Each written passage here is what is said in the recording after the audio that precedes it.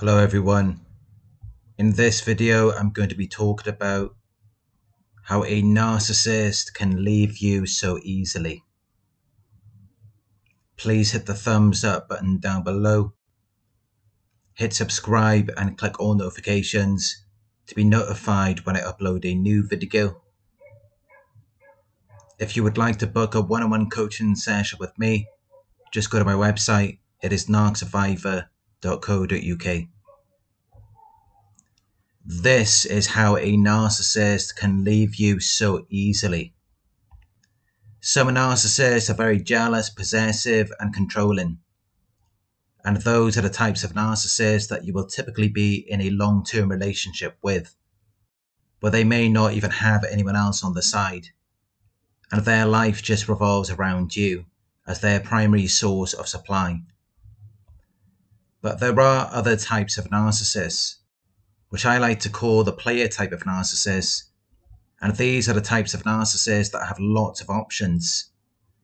And yet, you may feel like you're developing a relationship or a connection with this narcissist. Because when they first met you, they idealized you. They viewed you as perfect. It's like the mentality of a child, because they have an arrested emotional development at the child of a toddler, which is why they often throw tantrums and at this age of development, they haven't learned empathy. So they have an inability to understand and share your feelings and experience. They can't feel what you feel. And they also lack object constancy. Object constancy is the ability to maintain and stay to maintain a stable and consistent perception of a person, despite changes in their physical presence, appearance, or emotional state. It is a skill that is crucial for forming healthy relationships. The development of object constancy occurs during early childhood. Infants form attachments to their parents as they begin to recognize them as separate and distinct entities. And through repeated experiences of separation and reunion, they learn that their parents continue to exist even when they are not physically present. This understanding is crucial for the development of a sense of security and trust in relationships. Where children grow to understand that a parent who is momentarily angry or upset still loves them and will return to a loving state again. But narcissists lack object constancy, so they will be prone to insecure attachments, where they experience difficulty maintaining a sense of security and trust in relationships, which may manifest as anxious or avoidant attachments. They may also experience heightened sensitivity to your emotional state, leading to emotional dysregulation and intense emotional reactions, which will result in relationship instability, where they will experience chaotic, unstable, and short lived relationships such as what you may have experienced with a narcissist, where they may have been inconsistent in their attitudes and actions, and they may have shifted rapidly between pleasant behavior and anger, anxiety, or coldness. This is all the result of a lack of object constancy, which is normally developed between the ages of four and seven months, and also a lack of empathy, which is normally developed at four years old which is why they now have an inability to retain a bond with another person, especially if they are disappointed or upset. If you have hurt or upset the narcissist, they will be unable to maintain the same bond or level of connection with you that they had before. They may have liked you initially, but if you do something wrong, they will view you as being completely flawed because they have an arrested emotional development so, just like a toddler, they have a black and white mentality where they think in extremes. Their thought patterns assign people, things, and actions into one of two categories good or bad. So now they see you as being completely flawed, even though that's only their opinion, and other people may think differently. But narcissists live in a fantasy world they have constructed a false regality to avoid their true self, and they pulled you into this fantasy world. to where they may be physically present with you, but in their minds they're with a completely different person who has different actions, behaviors, and motives. And this is all based on how they see it in their minds, which is why they hate your autonomy and independence. And they will deprive you of your right or condition of self government, to where you no longer have the freedom or ability to make an informed, uncoerced decision, independently of external control or influence, because they have envisioned you as being someone else, and they're acting out this with you at the same instant and moment.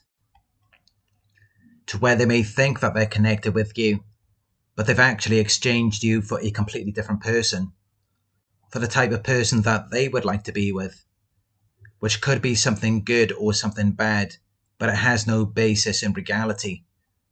It's something that exists only in their minds.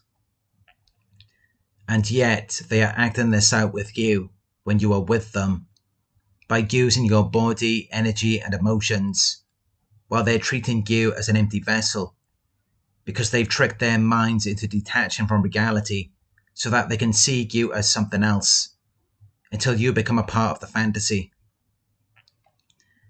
And the closer you get to them, the more they begin to expect from this character that they're experiencing based on what is playing out simultaneously in their heads but they're actually not even getting to know you or learning anything about you.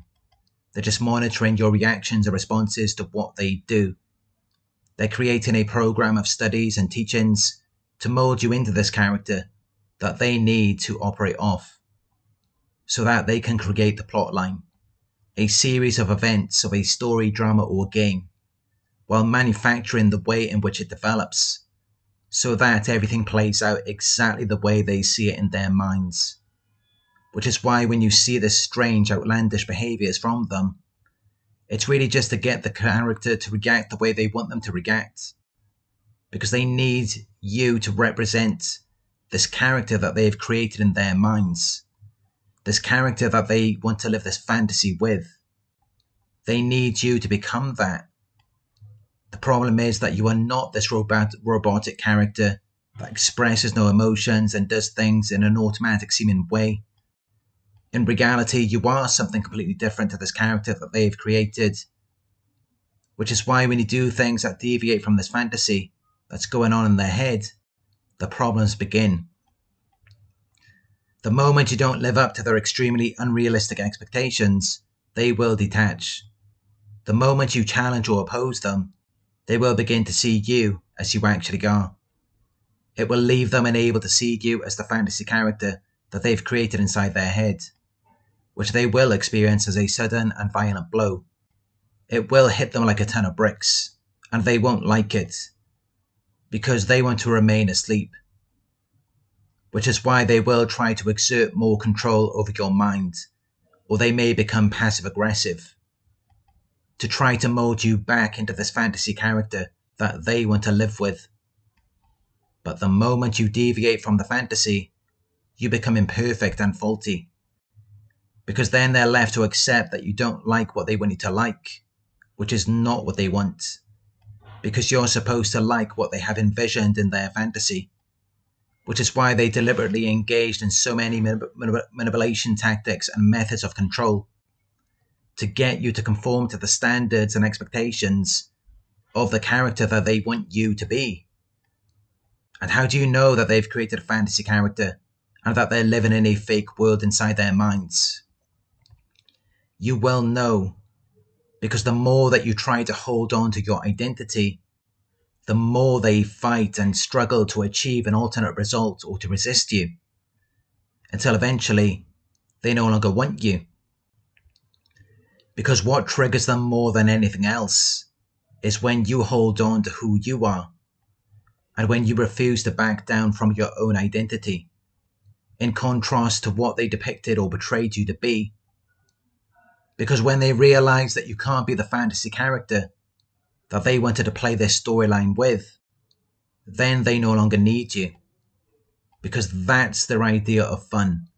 That's what brings them enjoyment, amusement, and pleasure manipulating you into being the character that they need you to be because they can't find satisfaction with you directly. They only experience enjoyment through the fantasy because that's how they live in their minds, which is how it's so easy for them to leave you like you never existed once you've chosen to no longer exist in their world. Because if you're not willing to go along with their storyline, they're not going to have any fun with you anyway because you're not going to be doing the things that they want you to do. So it's not going to feel good for them. It's not going to be fun. So by that point, why would they want to keep you? If you want completely different things, if you have two different ideas of what fun is, when you stand your ground and you enforce your boundaries, it causes regality to obliterate their fantasy it becomes a conflict of interest for the narcissist because it's a situation where you are incompatible, where you have two different concerns, because they're only looking to derive personal benefits. And they will happily choose their own personal gain over their duties to you, because that's their idea of fun. That's what feels good for them. Having power over you, manipulating and controlling their target nothing brings them more joy because they lack object constancy. So the relationship is only ever going to be characterized by instability and an inability to retain a bond with you. Which is why if you do one thing wrong, they will view you as completely flawed. And they lack empathy, so they can't feel what you feel anyway.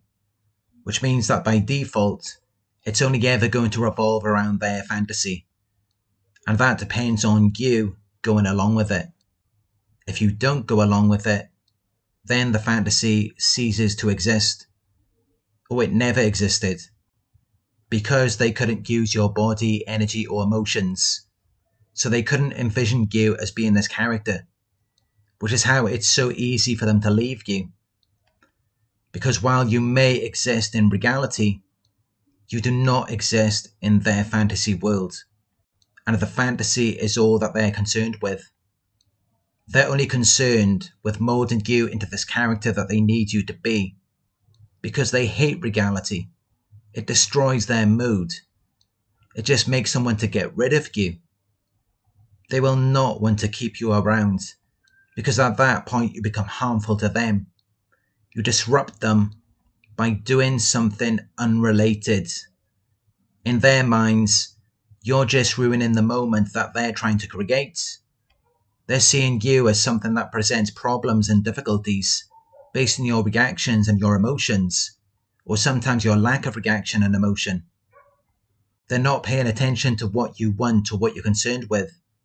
They're more focused on what disappoints and frustrates you because they're trying to learn these things in order to manipulate and control you so that they can create the scene to live out their fantasy while keeping you as this character that they can use for their own enjoyment.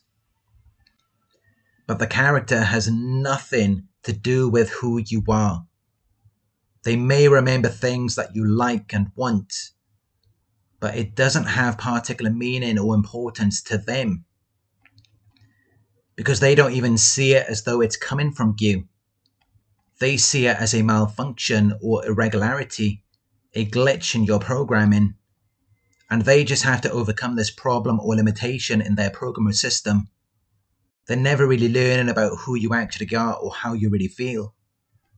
They have no idea, knowledge, or understanding about what you're really like because they've already attached a label to you and assigned you to a category inaccurately and restrictively. They've put you in this box to be something that they want you to be so that they can act it out in their minds. This is what narcissists do. They trap you with these agreements involving obligations that cannot be broken to play on your feelings so the entire relationship may have felt real to you. You may have felt like it was love. But when you observe the results at the end, of how they can so easily walk away, you realize that it wasn't real because you weren't even the character that they were interacting with in their minds. They never recognized or accepted your true character or saw it as valid or important.